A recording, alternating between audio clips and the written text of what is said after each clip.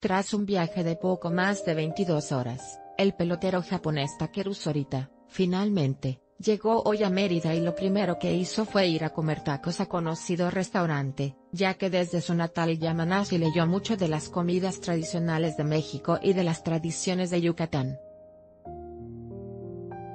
El jugador de los senadores de la Morelos, que hará historia el sábado próximo en la Liga Meridana de Invierno de Béisbol al convertirse en el primer asiático en participar en el circuito. Sufrió con el fuerte calor, el cual resintió al salir del aeropuerto Manuel Crescencio Rejón, donde fue recibido por el manager Mercedes Esquer, y por el directivo legislador Jorge Puga Rubio.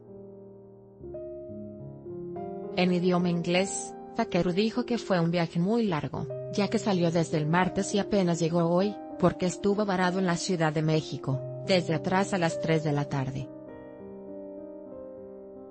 Fue un viaje largo, pero estoy emocionado de jugar en la Liga Meridana, de la cual he leído mucho, dijo mediante un traductor.